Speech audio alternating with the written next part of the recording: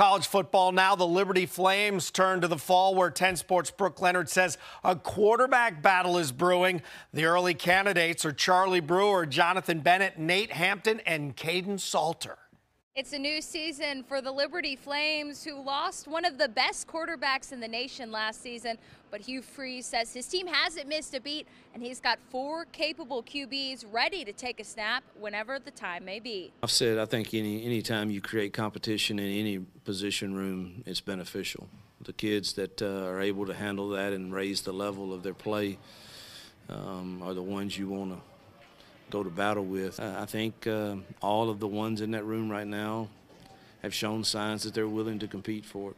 While it's only been one day of practice and head coach Hugh Freeze hasn't watched film yet, he thought that the quarterbacks leaned a little too heavy on pulling runs from the RPOs and wants to lean towards handing the ball off. Today, we really leaned the other way, I believe. Now, again, I need to watch the film, but I, I thought from my eyes, there were five, six, seven times that I understand it's going to be a seven man fit, but that seventh guy is still at 10 yards. That running back's got to earn his, his keep some too, and we can't just lean toward pulling and throwing it every time. Now, Coach Freeze said he's not really worried about if a quarterback is showing flashiness or really capitalizing in practice because some of the best quarterbacks he's seen said that sometimes they just weren't that great in practice, but they'd really turn it on when the lights came on in the stadium. So I guess we will have a really good idea of who will be the quarterback for the Flames come the first game.